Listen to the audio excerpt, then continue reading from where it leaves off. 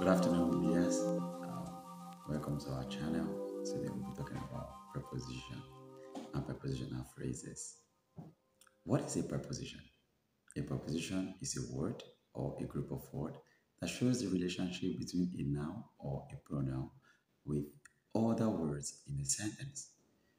The noun or the pronoun will function as the subject and the other words will function as any other part of a preposition always describes the relationship in time or in space, and it always starts with a phrase, which is usually a preposition, and ends with a noun or a pronoun.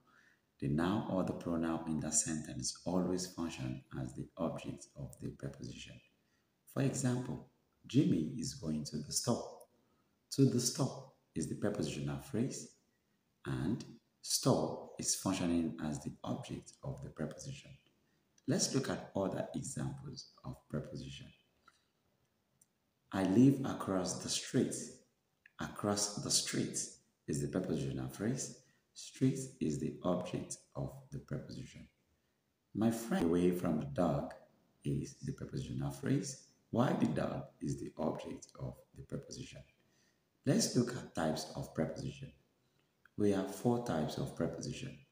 We have the one syllable preposition, the two syllable preposition, the phrasal preposition, or the preposition formed by adding one syllable prepositions together. Let's look at them in details.